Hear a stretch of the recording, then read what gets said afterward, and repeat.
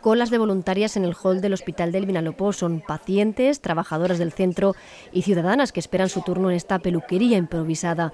Donan sus melenas por una buena causa, hacer pelucas para las mujeres que padecen cáncer de mama y animarles así en su enfermedad.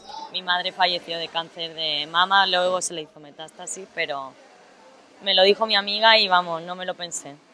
No me lo pensé ni un momento y nos hemos venido cuatro amigas a cortarnos el pelo. Las peluqueras también forman parte de esta gran cadena de apoyo. Eh, la iniciativa la tuvo el hospital eh, y nos consultó, o sea, nos, nos propuso ¿no? la idea de, de, participar en esto y por supuesto como profesional si puedo ayudar en, en algo como esto tan sencillo, pues allá vamos. Generosidad con la que el Hospital del Vinalopó y la Asociación de Afectadas de Cáncer de Mama celebran el Día de la Lucha contra esta enfermedad. Ganamos todos mucho porque ganamos conciencia, conciencia social, conciencia individual, conciencia colectiva.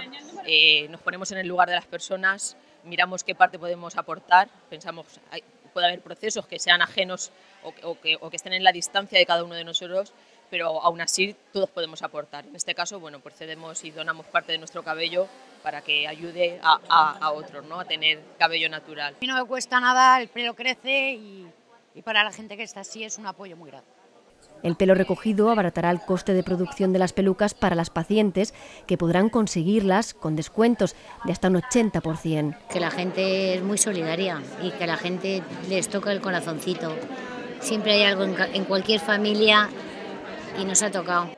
Con uno de estos mechones ya podría conseguirse una peluca, pero hoy la solidaridad traspasa las puertas de este hospital porque muchas donantes han decidido cortarse el pelo en casa a ellas y a sus hijas y traerlo aquí para poderlo utilizar.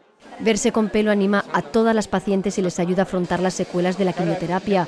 Hoy todas estas voluntarias y voluntarios quieren dar fuerza con sus mechones a todas las mujeres afectadas y transmitirles con este sencillo acto el respeto y la solidaridad que sienten hacia ellas.